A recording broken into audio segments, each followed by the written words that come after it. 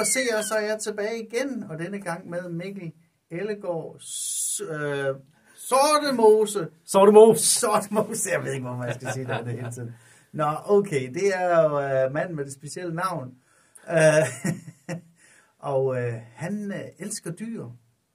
Øhm, og du er meget berejst også, og du arbejder også meget med dyr og så videre. Og du har jo, for lige at, at gøre det ekstra hyggeligt, så siger vi, at du har jo, øh, er det ni slanger inde ved siden af dit soveværelse? Ja.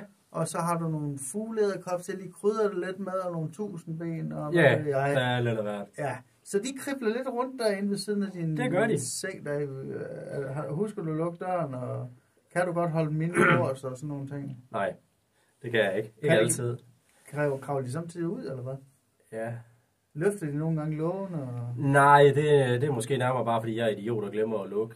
Øh, og det tror mig, det, og det er lidt sjovt, fordi det er ikke altid mig, det går ud over. Nå. Det er som regel min kone, det går ud over. Nå, ligger hun så der med at slange sig med en slange, eller? Ja, nogle gange. Øh, Det lyder Ja, godt, der ikke det er altid hende, der nogle gange kommer ind og spørger. Hun har også øh, nogle gange fundet kakelakker i sit tøj. Ja, Ej, ja så, øh, så det er lidt sjovt at bo derhjemme en gang imellem, skal jeg være ærlig indrømme.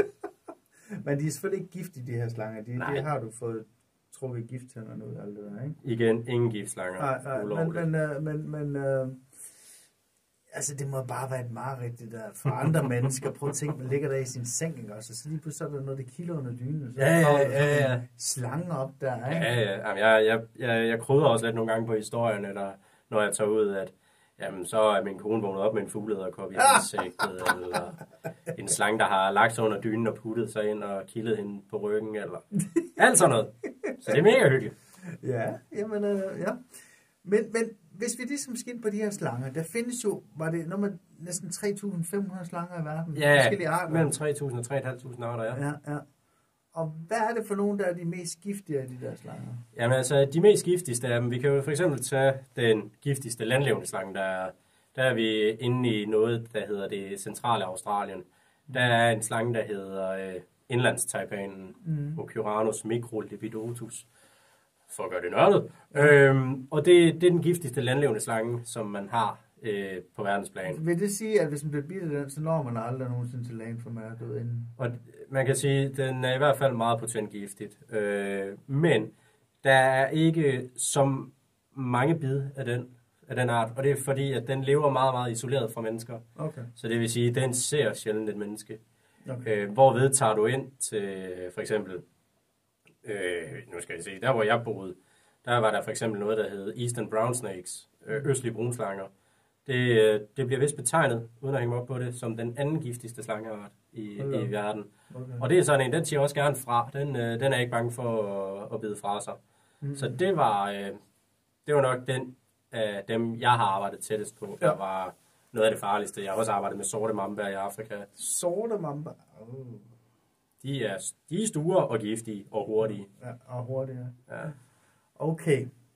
Jamen altså, hvad er det for et dyr så, som øh, man kan sige, der er, man skal virkelig passe på?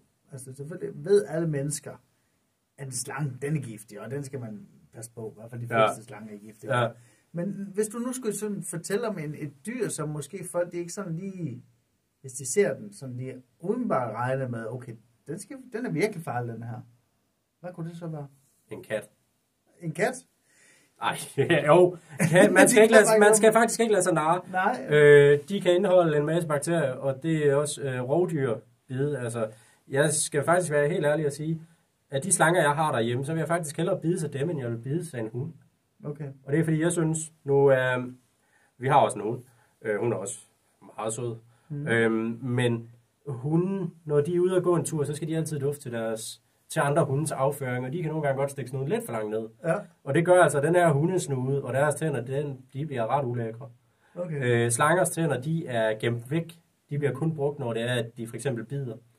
Øh, men ellers er de mere eller mindre meget rene i forhold til hundetænder.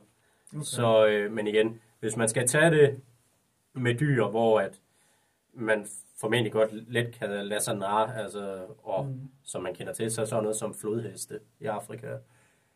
Ja, de kan jo, det er jo på grund af den der ko store mund. Ja, De fuldstændig. kan jo dermed, de kan jo bare gabe overalt. Åh oh, ja, de, Det er i øh, hvert fald farlige. de er farlige, og selvom de ligger ned, altså, der kan man måske snakke om et dyr. Nu snakker vi jo omkring det her med at være defensiv. Mm. Det der med, at det er kun når vi kommer i nærheden af dyrene, at Ja. de er irriterede. Men der skal virkelig ikke meget til for at pisse en flodhest af. Nå, det skal du ikke. Nej, altså, der hvor faren den kan ligge ved det, det er, at om morgenen, det er jo sådan, at flodheste om aftenen, der går de op på land for at græsse, og de æder det omkring 40 kilo græs om natten. Okay. Det er det, når de så skal tilbage til vandet, så er der mange måske indfødte eller afrikanere, der går ned og samler vand. Nå, Så man skal ikke komme øh, og stå mellem en flodhest og dens vandhul. Så kan det godt være, at man får problemer. okay. Øh, har jeg hørt. Ja. Jeg har ikke Så, hørt så nogen, der er faktisk mange mennesker, der også bliver slået ihjel af flodheste? Ja. Derovre? Ja. Okay. Jeg tror, det er, det er omkring 50 om året. Der bliver... Hold da op. Ja. Det var en gigantisk Ja. mund, de har. Ja, for delen. Og, jeg, jeg, og udover flodhest, nu ved jeg godt, krokodiller, det er jo nok ikke de fleste, der gider at gå ned til dem. Øh, det, det, skal man heller ikke med flodheste. Nej. Øh, men for eksempel, i, da jeg var boede i Australien, jeg boede der jo i to gange seks måneder. Øh, så 12 måneder i alt. Og på de 12 måneder, der var der 12 mennesker, der blev spist af krokodiller. Hold da op. Og Det er vanvittigt. størstedelen af dem, det var ikke for at, at være offensiv, men Mhm. det var simpelthen øh, kvinder, der tænkte, at de skulle ud og have en selfie. okay. Ja. ja. det er da vanvittigt. Det, det er noget, der giver nogle gode stories. Øh, det der med at lige skulle tæt på en krokodille for at få et selfie med den. Det, det var så sidste gang, de fik en selfie. Ja. Så, øh, og igen, det er, hvad jeg har hørt. Det er ikke noget, jeg har belæg for overhovedet. Men, Ej, ej. men øh, det, det skulle faktisk ikke undre mig. Nej, nej, det er rigtigt. Der er mange, de tænker sig ikke om, når de synes, de skal lige have et godt billede. Nej, og, det, og man kan jo sige selfies. Jeg tror faktisk, med hensyn til, til selfies, der er flere, der dør af at skulle tage en selfie, fordi det er lige en farlig situation, Ja. end for eksempel, at nogen de dør af en, øh, af en slange. Ja. Altså, Jamen, så blev vi så meget klogere. Mikkel. Det gør vi. Men dejligt. ved du hvad, jeg vil sige tusind tak, fordi du lige vil med her på min vlog, og øh, det har været en fornøjelse. Så her til sidst skal vi lige vinke til seerne derude. Det kan vi i hvert fald. Kan I hygge jer? Hej hej. Hej.